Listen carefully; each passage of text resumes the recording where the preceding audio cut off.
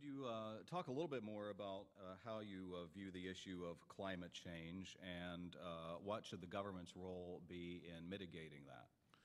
Well, uh, climate change. Uh, I think the I think the world is getting warmer. I think that it's man caused. That said, should we be engaged in cap and trade taxation? No, I don't think that we should. We should lend certainty uh, to the e- energy field. We should be building new coal fired plants.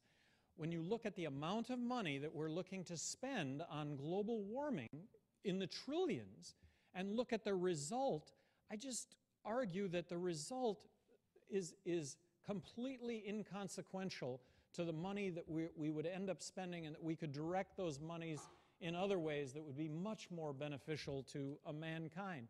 I mean, the long-term view, I- should we take the long-term view when it comes to global warming? I think that we should. And the long-term view is, is that in billions of years, the sun is going to actually grow and encompass the earth, right?